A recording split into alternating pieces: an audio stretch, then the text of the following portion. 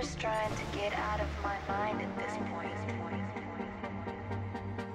But if there's only one thing I do know, keep reaching for the moon.